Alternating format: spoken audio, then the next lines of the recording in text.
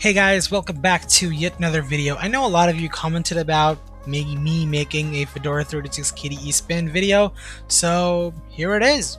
Well, for the uninitiated, Fedora Linux 36 is a very stable and fast moving operating system that updates every six months or so.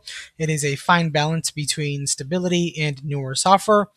And if you're new to the desktop environment, KDE, which I believe is more important than the actual distribution itself, so I'll give you a little tour and then we will dive straight into what's new in Plasma 5.24 that is shipped alongside Fedora Linux 36 KDE variant. So without further ado, let's dive right in. As you can see before us, we have a beautiful wallpaper made by Fedora Linux for the 36th version. And down below, we have what Windows people call the taskbar, what Linux people call the panel. On the left, you have your Start menu, and then a few pinned apps, namely Settings, Discover, which is your Software Center, File Manager, and Firefox. On the right, you have a few icons, so this would be your notifications. So if I click on it, as you can see, these are your notifications. Let them go. And this is telling me that there are security updates. This is for volume, so I don't have any applications playing or recording audio, so there is nothing here, but if there were, they would have been here. Under devices, you have line in and line out. So as you can see, as I am speaking, it is picking up my voice even through the VM and it's showing it. And you can also raise the maximum volume, which is helpful sometimes because what OEMs do is that for laptops, they have very specific drivers to get the maximum potential out of their speakers. And in Linux, you don't have that driver, right? So oftentimes, like for instance, in my laptop, the sound is very low. So raising maximum volume helps out a ton. Next is your disks and devices. So this is the ISO I used to install Fedora on this VM. So it shows this as an optical disk. Over here is your network connection. Again, wired connection because it's inside a VM.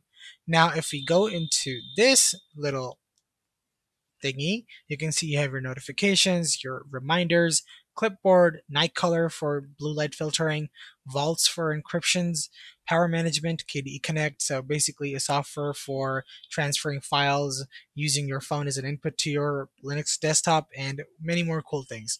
And it also has the lock keys status.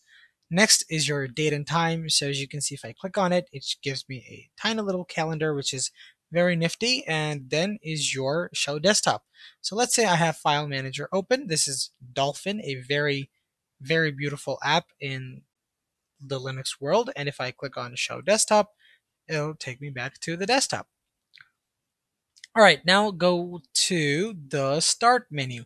So as you can see on the left, we have a couple of categories and apps are beautifully categorized under them. So if I go into Office, as you can see, you have KMail, Kontact, K-Organizer, and the entire LibreOffice suite. Now, some of these names are very self-explanatory, but let's say, for example, Dragon Player. You don't know if it plays dragons or something else. So as you can see, they have video player mentioned. So this is a nifty little thing, but very handy for people who are new to most of these apps. Now you also have sleep, restart, shut down, and if you click this button, you have lock and log out. All right, now we're going to talk about what's new in Fedora Linux 36 KDE variant because KDE Plasma that ships with this distribution is 5.24 and to check out some of the new things we need to head over to system settings. Now before I show you what's new, Let's confirm about the version numbers. Okay, if I click on About the System, as you can see, Plasma 5.24, we are using the latest kernel, 5.17. So if you're somebody who uses Intel integrated graphics cards or AMD discrete or integrated cards, the later the kernel number, the better it will be for you. It doesn't matter so much if you're on NVIDIA. Now, this is using Wayland as the default compositor. You could, but if you face problems, you can always switch back to X11 from the login screen. Personally, I stick with X11, but Wayland has and is and will be making tons of improvements in the upcoming days. So, let's talk about what's new, alright? So to do that, we have to go to Appearance and then we have to go to Colors. Yes, ladies and gentlemen, we have accent colors. So it's blue. You can switch it to something, let's say orange Now, if I apply this, what's new in 5.24 is that apart from these changing colors to your specific accent color, now you also have folders which match your accent color.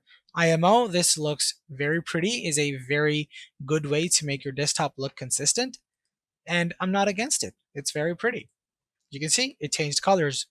Now we're going to go into the Discover app. Oh, and before that, if you want to know more about Dolphin, it's a very standard, beautiful file manager. You have your places on left, your remote connections, your devices, and under here you could change how your folders look like. Over here you can create split tabs, you can close them, you can search for your files, and also you have other options in here. Now, generally, KDE Plasma, if you start digging deeper, it will look very complicated and you can be overwhelmed, but on the surface, it's very intuitive, it's Windows-like, and I think it's one of the best desktop environments apart from GNOME. Now let's head over to Discover as I promised.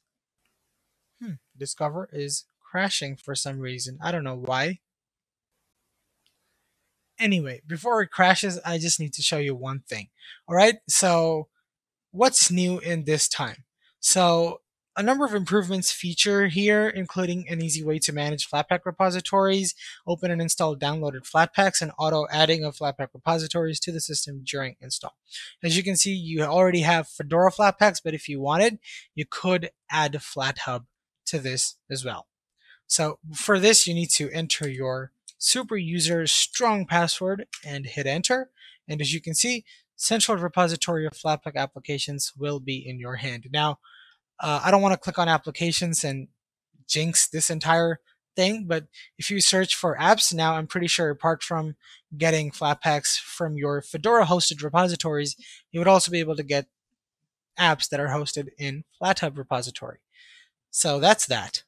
Moving on, now you have a beautiful overview. So if I hit Windows plus W, as you can see, this is a GNOME-like overview that you can use to see which applications you have open.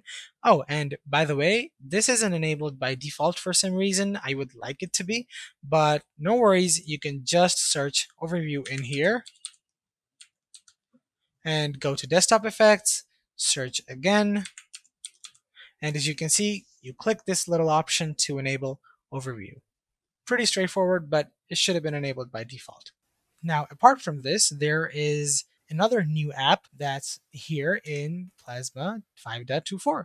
So this is KWrite. Instead of Kate, the usual default text editor, you now have KWrite. Mm, it's a text editor. You have your pretty much standard things. Well, I've never really used Kate, and I don't use KDE Plasma on a daily basis, so I don't know what Kate looks like, but KWrite, it seems pretty good. You have a ton of options, and this seems a pretty well full-fledged text editor. You know, I can't complain.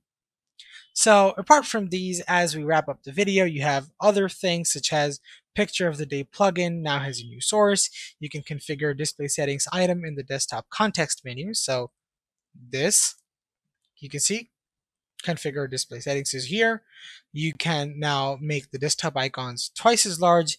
You can you have the option to reverse align tasks in Task Manager and you have a lot of other things. Another important thing is now you have a new speaker test sheet in audio settings page, and also you have a scale factor listed in display and monitor settings. You also have fingerprint support in the lock screen, window thumbnails on Task Manager now pop up faster, and the list goes on and on and on. This is the beauty of using Linux.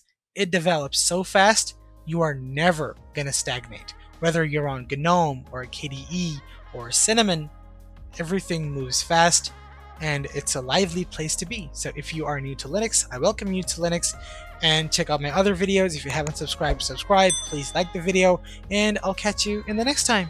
Peace.